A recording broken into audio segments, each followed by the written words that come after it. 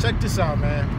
I'm a big fan of coexisting with uh, one another, no matter what religion, what sex, what age, what uh, whatever you got going on that's different than anybody else.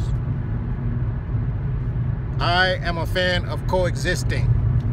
So, with that being said, please do not come to me trying to change my mind. You, you actually shouldn't press anybody to change their mind on what they believe in. But some of you like to press it. I don't know why, but it's it's engraved in you. Once you, I did the same thing when I used to be into the Bible. Then I went to the Quran, and then I went to the other stuff. And I used to be the same way. Look, you're wrong because you're not doing it the way this book says it, or you're wrong because you're not doing it the way that book says it. Come on, man. We have we have to grow up here.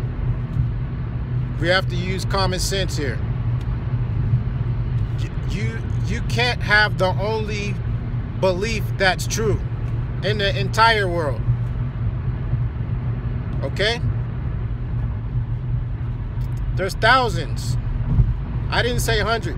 There are thousands of different beliefs on this planet, man. Thousands. And for you to think that yours is the one and only, that's fine. Keep it to yourself, man. Unless somebody come asking you. Because some of y'all are crazy, man. I mean, I thought I was nuts, and I am kind of nuts after all the shit that I've been through and all the shit that I've done in my life.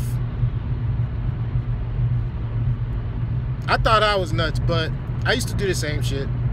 So, I ain't hating. Continue doing you. Just don't come to me trying to change my mind on shit when I know when my when my when my knowledge of things far expands yours. And the reason I'm not trying to be funny with that, the reason why I say it, it, it far exceeds yours, pardon me, far exceeds yours.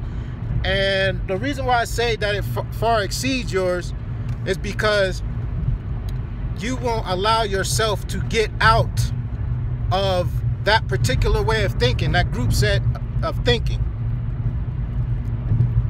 And you don't want to hear anything else from nowhere else, from nobody else. And you have to think to yourself, hmm, could I be wrong? Could this just, could my belief be a piece to the puzzle? Could it be? Hmm, I wonder. Hmm, think about that, fellas. Ladies and gents, think about that. Let's coexist.